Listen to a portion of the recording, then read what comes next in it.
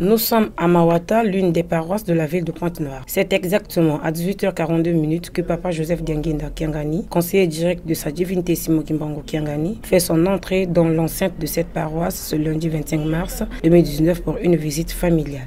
Cette visite s'inscrit dans le cadre de réconforter les fidèles et sympathisants kimbongistes de la dite paroisse. Prenant la parole, le révérend Lubanga Blaise, responsable de la paroisse, demande une attention spirituelle au conseiller direct de sa divinité Simon Kimbangu te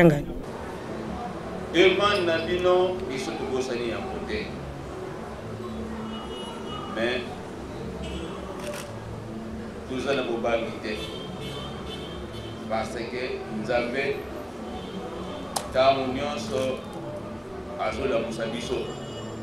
Bandimi tozala makasi na mabondeli bandimi tozala makasi na bolingo. Mpe tozala makasi na misala.